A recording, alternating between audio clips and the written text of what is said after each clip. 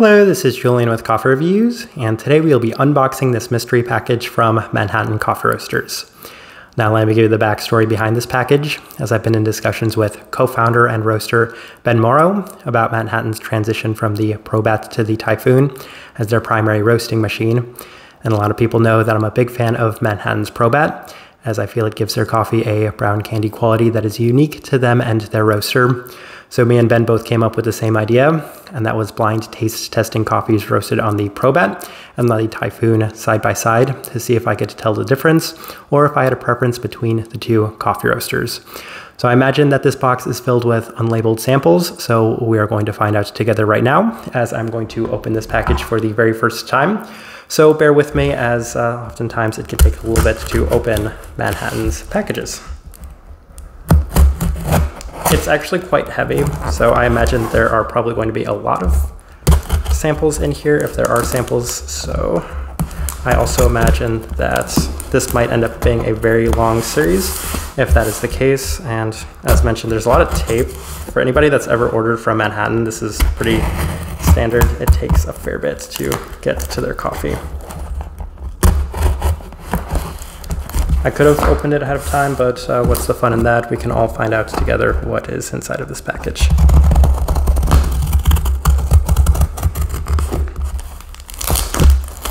Okay, here we go. And yes, we have a lot of samples, and I have no idea what any of these samples mean. So here we have 13A, we have 13B, we have 14A, we have 14B, we have an abundance of just samples, unlabeled samples. So I imagine, given that there's not a note anywhere in here, that it's going to be on the back of what each of these samples are. So in order to keep everything fair, I'm not going to look at the back of any of those to figure out which coffee is which, but yeah, it looks like we have at least 14 different samples of coffees. I don't even know which coffee might be which, so that's going to make things really interesting. I imagine I'm going to try probably 4A and 4B side by side with each other and so on and so forth. But yeah, this is uh, quite a bit of coffee and it's going to lead to a pretty long series. So this right here is just the first part of this series and I'm looking forward to seeing if I do have a preference or seeing if I'm able to tell the difference. So I'm going to end this first part right here and we will be right back with whatever we proceed to do with this series. And we're back, so let me go ahead and update you guys on this package. And the first thing I wanted to say is none of these coffees are labeled anywhere with the exception of the 1A, 1B, 2A, 2B, so on and so forth label that all of them have been assigned. So it's actually impossible for me to know which coffee is roasted by which roasting machine. And then the second thing I wanted to say is we're actually going to break up this video into multiple days. So I'm going to be recording it on different days, but I'm going to clip them all together into one long video. And I assume at the end, Ben's gonna let us know which coffees were roasted by which machine, but I'm not entirely sure. We will get to that when we get there. But in the meantime, let's go ahead and start with these coffees. So these are all labeled 1A, 1B, 2A, 2B, and 3A and 3B. And I've also taken some very minor notes to kind of differentiate what I noticed when brewing these coffees.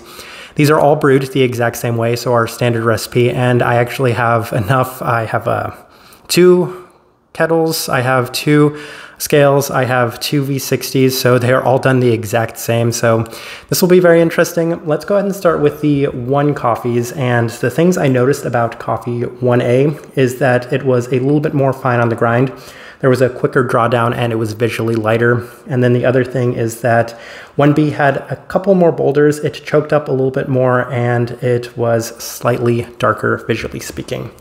So let's go ahead and try 1A and we will see which of these coffees I like more. I imagine that these two coffees are actually going to be wash processed coffees, but I don't even know what these coffees are in general. So that one right there, a very clean coffee, pretty even, nothing too differentiating or standing out with that one, but let's see how it compares to 1B, which is what we're here for. Okay, I, there is actually quite a noticeable difference between these two coffees. That's exactly what I'm hoping for. I'm hoping to be very decisive and come up with a pick as to which one I like a little bit more. So that one right there is a little bit more clean, and a little bit more even. This one right here has a kind of interesting herbal aspect to it. A little bit more of a citric component to it as well. This one has more vibrancy in general. This one right here came out very, very clean, very, very even. Yeah, there's they're very different in that sense. So I'm trying to differentiate which one I liked a little bit more. I think that that one maybe is a little bit more clean than I would like. This one right here just has a little bit more to it in general. I'm gonna pick 1B. So 1B is my pick for the first coffee that we're going through. Let's go ahead and move on to number two. And what I noticed the differences between the second coffee is that number two had a more even grind. The bend finished a little bit more even as well. It was a slightly uh, lower drawdown and there was more chaff. I think that this one's actually a Panamanian Gesha before even trying it. I think it's one of the Janson coffees based off the aroma I was getting from brewing the coffee. And then 2B had less chaff, it was less even, and it had a quicker drawdown. So let's go ahead and see which one of these I liked more, starting with 2A.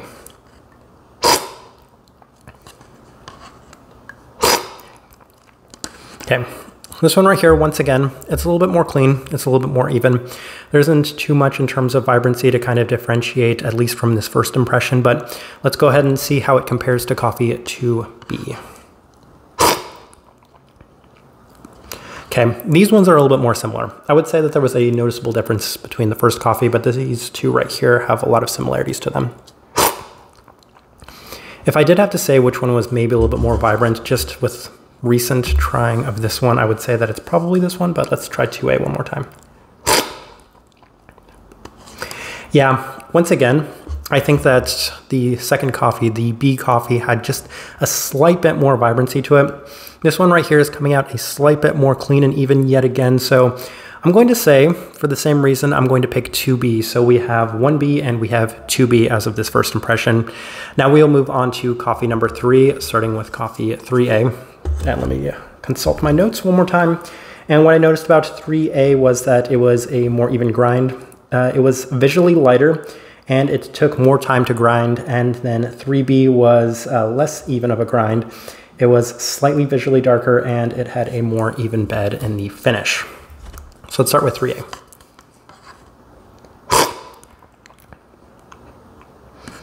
Hmm. I actually think I know what this coffee is, but I'm going to kind of keep that to myself. This has some really nice vibrancy to it. It's a very sweet cup of coffee. I really like the definition that's present in that one as well. This is a very, very nice cup of coffee. Actually, so far to this point, this has been my favorite on this table, 3A. All right, 3B. Okay. Once again, these two coffees are a little bit more on the similar side of things, mostly because they both had some great sweetness and great vibrancy to them. So I'm going to run through them one more time and see if I can differentiate which one I liked a little bit more. I feel like this one came out slightly more clean and this one, once again, a little bit more vibrant. I'm hoping that the way that this was set up wasn't that all the A coffees are one roaster and all the other coffees, the B coffees, are the other roaster. I don't imagine that's what Ben would do, but you never know. It could entirely be reverse psychology on this. Yeah, I think that this one's just coming out slightly more tame based off of that second run through. So let me try this one one more time. Yeah, this one's a little bit more vibrant. And I think once again, for that reason, I'm going to pick 3B as my favorite coffee. I'm going to run through these just one more time to see if I agree with my second assessment, but I think my favorite coffee on this table might be 3B. I'll try 1A one more time. Yeah, these were probably the two that had the most differences between them when just comparing them alongside each other. Definitely. I don't know, there's a case to me be made for 1A, but I'm trying to be very decisive and pick one uh, pretty firmly, and I'm gonna go with 1B, even though maybe I do like the kind of evenness of 1A a little bit more. I think just having a little bit more to the coffee in general with 1B made that one a little bit more enjoyable. We'll run through two one more time.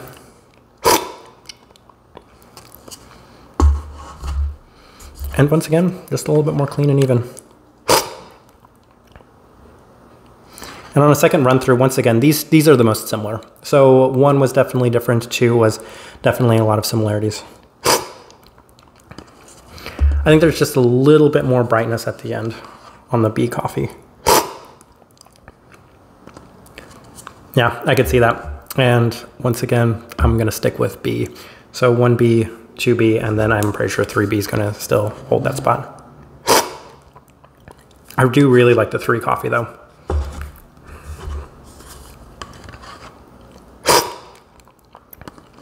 Yes, I'm gonna go with 3B. That's kind of shocking. Uh, the B coffee won all the first three coffees that we tried, so I'm going to go ahead and leave this part at that, and I'm going to be returning here shortly for coffees four through six. And we're back with coffees four through six. And one note I wanted to correct from the previous group of coffees is that I'm not entirely sure the first coffee was just a standard washed coffee. As after recording that video, I went back and tried all of those coffees one more time. And I came to the same conclusion that all of the B coffees were my favorite, but when going back to coffee number one, I felt a slight fermentiness to it, which did indicate that it might not have been just a standard wash processed coffee. But once again, we have coffees 4A, 4B, 5A, 5B, and 6A, 6B. And let me go ahead and take you through the notes for what I found for the four coffees. And what I noticed from 4A was that it had a more even bed after brewing and a little bit more even of a grind, whereas 4B had a slightly longer drawdown and it didn't crater as much. So let's go ahead and give 4A a shot. And I know that this is probably going to be my least favorite coffee up to this point, as you definitely tell that these are slightly heavier processed coffees. Okay, that's actually not bad given that I know what this coffee is. It's a little bit more clean than I might have expected. This is definitely a little bit more of a heavy processed coffee, but that first impression yielding some slightly positive results, so there is that ever so slight graining quality at the end. All right, 4B. This one has a little bit more to it, but that's not necessarily a good thing when it comes to heavier processed coffees. It's coming through a lot more in the finish too, not quite as much clarity. So I feel like this one's pretty straightforward. I like 4A a little bit more because it offered more clarity and it didn't have that sort of fermenty aspect in the finish itself, but we'll come back to that one. Next up, we have 5A, and let me take you through the notes for the five coffees. And interestingly enough, up to this point, these are the two coffees that were extremely similar in so many aspects. The only noticeable difference was that there was a very slightly darker quality to 5B as opposed to 5A. So let's give 5A a shot. When brewing this coffee, I could not tell what this was. I don't think I've had this coffee from them before, but I've had coffees that are similar to this one. That's interesting. It's got a very interesting sort of fruit component to it. All right, and here we are 5B. Okay. I think I definitely like 5B better. 5B a little bit more clean, a little bit more even, definitely more even on the fruit components for this one. So this one right here, it was a little bit kind of varied. I would say that the acidity wasn't necessarily as defined as it was in this one. So 5B, the clear winner for me on the five coffees. And then coffees six, and what I noticed from the six coffees was that 6A was a little less even on the grind. It cratered more and it was noticeably lighter and had a much more flat bed after it had been brewed. And then 6B had a much more even grind. It uh, took a little longer to grind the coffee as well, and it was definitely visually darker. And when it comes to all of the coffees we've tried up to this point, 6A and 6B had the most distinguishable difference between the actual color of the grounds and the coffee themselves. So 6A, let's give this one a shot. I like this one actually. I like this one a fair bit. This one could possibly actually be one of the washed coffees, but this first impression on the 6A coffee, it's actually very, very nice. I like the evenness that's coming from this coffee. 6B.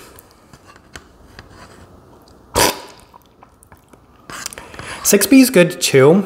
I think it's just a little less even. If anything, the brightness is showing a little bit more in this one. It's good too though. I like the six coffees. Whatever the six coffee is, I like, which is funny because I really liked the three coffees. Maybe it could be because I know I'm not the biggest fan of whatever these coffees are, but let's take one more run through. I think 6A is actually going to be my favorite among the six coffees. So let's try the four coffees just one more time. They're not cooling down exceptionally well when it comes to these four coffees, but once again, this is not necessarily my type of coffee. It's definitely 4A. 4A is my winner of the four coffees. This one is definitely a fair bit more fermenty for me. All right, five coffees. 5A just has kind of a weird fruit quality to it. It has the same fruit component, but it's a little bit more clean and even and defined in this 5B. Definitely. I'm going with 5B on this one. And then last we have the six coffees, and let's give them a shot. A little more tricky to tell, having just finished the five coffees, but really like 5A. 5B is not without its charm. I do like the brightness that's coming from the end of this one, but I still think that maybe I'm going to go with the 6A. So we have 4A, 5B, and 6A. So we'll be back once again with the next set of coffees here shortly. And we're back with coffees 7 through 9. No additional notes from the previous set of coffees as I went back and agreed with all the picks we had made. So once again, we have coffees 7A, 7B, 8A, 8B, 9A, and 9B. So let's go and get started with our notes for coffee 7A. And what I noticed was a less even bed and a quicker drawdown, while 7B had a more even bed and a slightly more fine grind. And I actually think I know what all three of these coffees are, so let's go ahead and get started with coffee 7A. And when I say I believe I know what these coffees are, it's basically just from grinding them. The aroma and the brew itself, I feel like yielded some results that were familiar with coffees I'd had in the past. This one comes out a little bit more harsh at the forefront, though it does have a slight bit more clarity on the back end. So it's interesting in that sense. Let's go ahead and see how it compares to coffee 7B.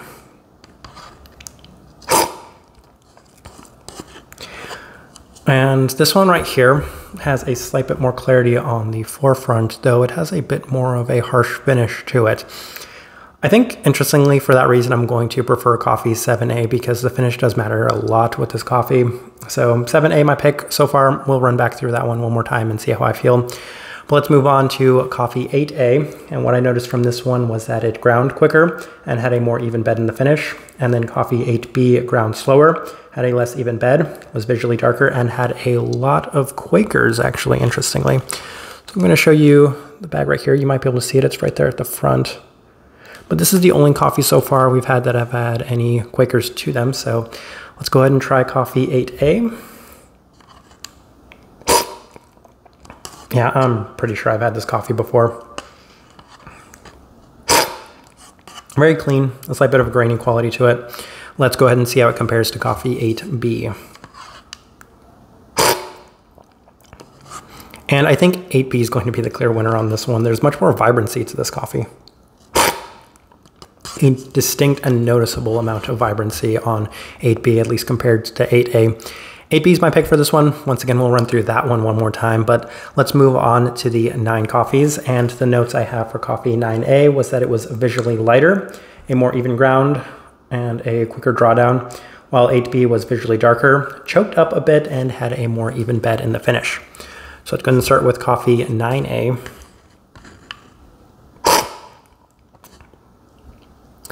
I actually really like this coffee.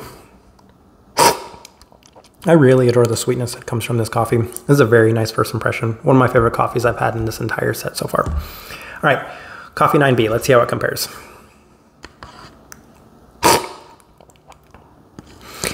This isn't the same. This is probably the most drastic difference I've noticed between two coffees up to this point. This one right here has a much more distinct brightness to it. It's lacking the same sort of sweetness that I experienced from coffee 9A.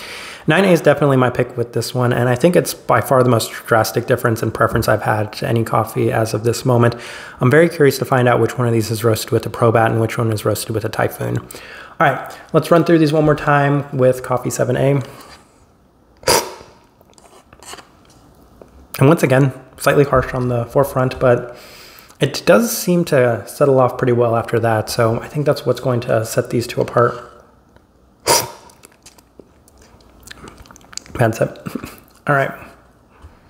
Yeah, still agree with that assessment. 7A is definitely my pick among those two. All right, let's move on to the 8 coffees and 8A. Yeah, it's just very, very clean. And I feel like with this coffee, you need a little bit more vibrancy as opposed to the clarity because it already offers enough clarity to begin with.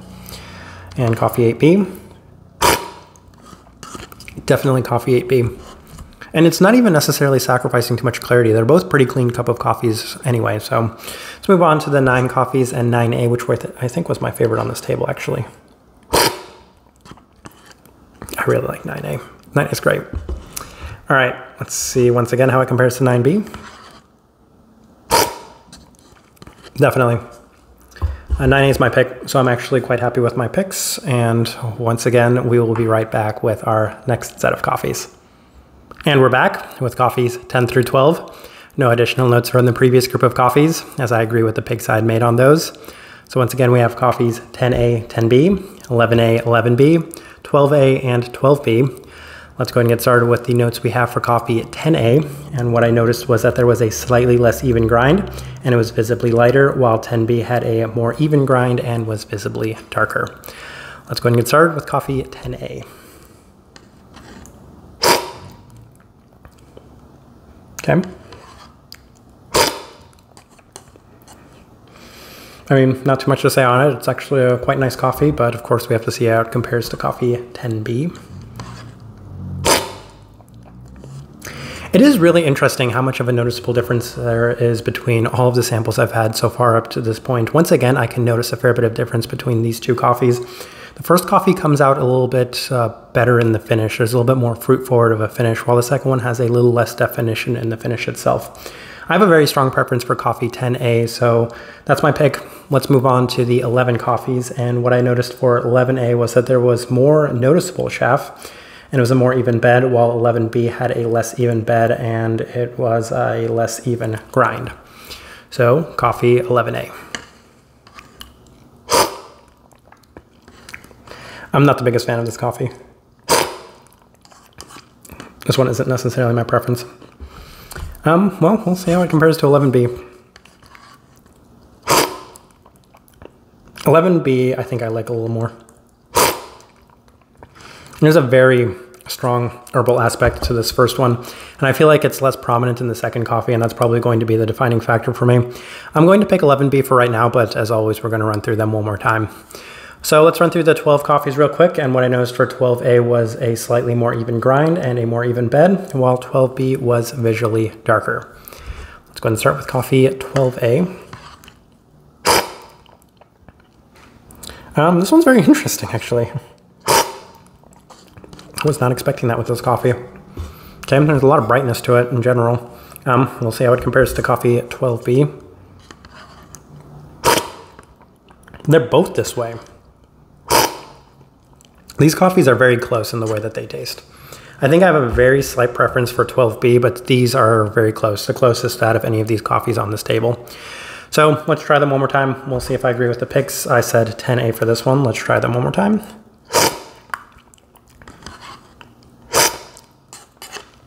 Okay. I think that's not bad. I like the evenness that's present within that one. 10B. Yes, 10A is my clear winner. I'm picking 10A for this coffee. Next up, we have the 11 coffees, and I believe I picked 11B on this one. Yeah, this 11A has such a harshness to it. I don't think it was quite as present in 11B. It's a little more present now, but it could just be the lingering effects. These are maybe a little closer. I'm going to stick with 11B on this one. And of course, if I have any adjustments, I'll let you know in the next part of this video. But let's try the 12 coffees. These ones were really close. It's a very interesting coffee. I'm very curious to find out what this 12 coffee is. Yeah, I think it's 12B. 12B is just a little bit more even. They're both pretty bright. I'm kind of surprised by the brightness in both of them but I think 12B just kind of settles a little better. So uh, those are my picks. We will be back here shortly with the final part. And we're back with coffees 13 and 14. Only additional note from the previous group of coffees is that 12B did seem to cool down in a very similar manner to 12A, and that resulted in those coffees being extremely close. However, I do think I still had a very slight preference for coffee 12B. Once again, we have coffees 13A, 13B, 14A, and 14B. And we're actually going to change things up and start with the 14 coffees as I do think that the 13 coffees are some very heavily processed coffees and I do want to be able to taste the 14 coffees. So for 14A, what I noticed was a much quicker drawdown and with 14B, there was slightly more chaff. Other than that, there weren't too many differences between the two coffees. So uh, let's go ahead and start with coffee 14A. Okay. Very nice coffee, my type of coffee. Not too much to say on that, just pretty clean in general. So we will see how it compares to coffee 14B.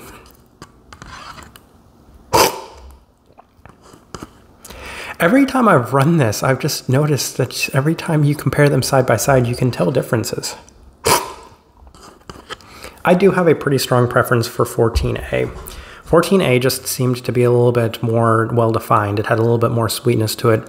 14B, while it was a little brighter and maybe a little cleaner, it didn't necessarily have the same sort of vibrancy I was looking for. There was just a slight bit more unique of a brightness to the cup.